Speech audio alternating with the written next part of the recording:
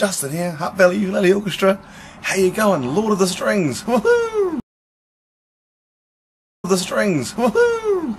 Hey, um, so here I am with my Kala Tenor, um, mango swirl curly mango with a curly ukulele case, uh, ukulele. And what I thought I'd do is I'll teach you a little, uh, a little strumming technique, which is like a sliding technique. Uh, I like to use this on my when I play um, "Slip Sliding Away" by Paul Simon.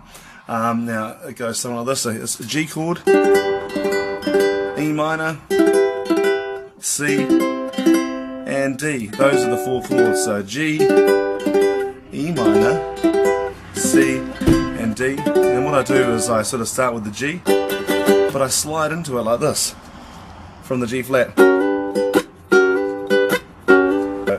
Slide, then thumb up, slap. Slide, thumb, slap. Zip sliding away. Zip sliding away. You know the nearer your destination, the more you slip sliding away. So that's how I kind of like to play that one. Uh, just sliding in.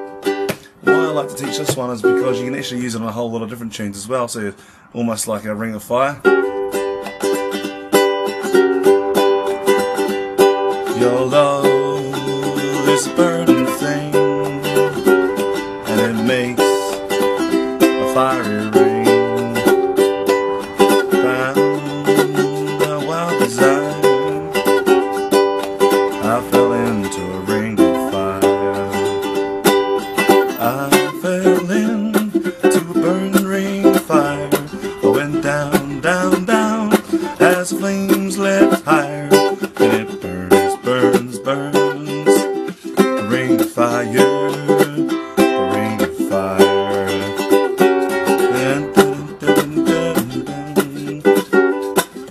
Just the slide adds a little bit of funk. You can actually do a little, little bit with it. Sounds really cool and it adds a little bit extra to the tune. So that's my sliding technique for strumming and a little bit of advanced strumming. So to get this, the tune sounding a bit more fun and funky. Hope you enjoyed that.